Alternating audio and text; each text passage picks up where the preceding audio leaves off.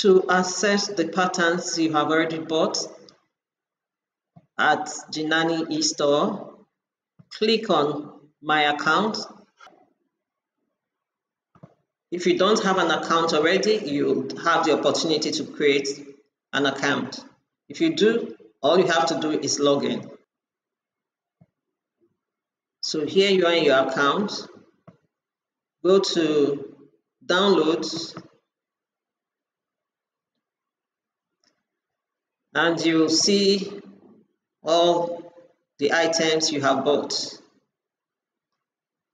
And so you can select your pattern. If it's been updated you see the new pattern instead or the new uh, book or the new software whatever it is you bought you see it instead of the old one so now I want to download my updated ladies bodice.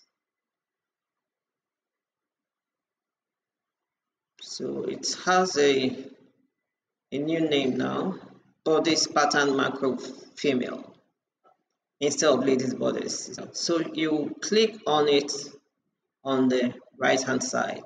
This link will take you back to the product page. Now, this link here on the right is the download link.